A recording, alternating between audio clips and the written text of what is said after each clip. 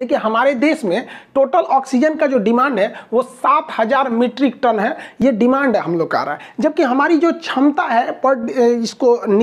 produce करने की वो है अठहत्तर सौ मीट्रिक टन की तो इसका मतलब हमारे पास आठ सौ मीट्रिक टन और ज़्यादा ही ऑक्सीजन जितना डिमांड है और हम लोग ने अभी गवर्नमेंट ने टारगेट लिया है कि इसे नब्बे हज़ार मीट्रिक टन ऑक्सीजन की क्षमता को बढ़ा देना है लेकिन आप देखिए हम लोग का जो डिमांड है ये डिमांड ज़्यादा नहीं है फिर भी हम लोग चीन ऑक्सीजन सिस्टम ना होने की वजह से